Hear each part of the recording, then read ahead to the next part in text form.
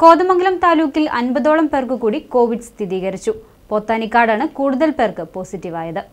പോത്താനിക്കാട് പഞ്ചായത്തിൽ ശനിയാഴ്ച കോവിഡ് സ്ഥിരീകരിച്ചത് പന്ത്രണ്ട് പേർക്കാണ്.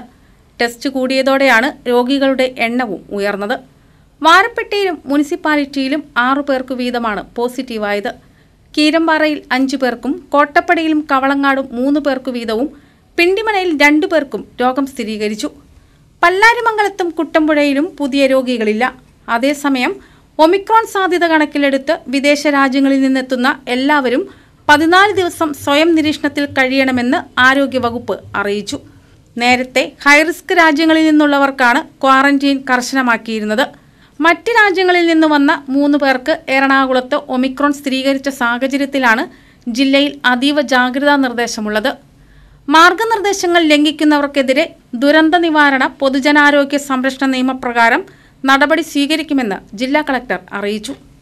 K C V news Kothamangalam.